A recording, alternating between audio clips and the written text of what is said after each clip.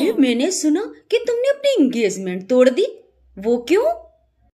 अरे यार, उस लड़के की एक भी गर्लफ्रेंड नहीं है।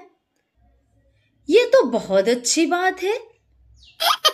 जो लड़का आज तक किसी लड़की का नहीं हुआ, वो लड़का मेरा क्या होगा?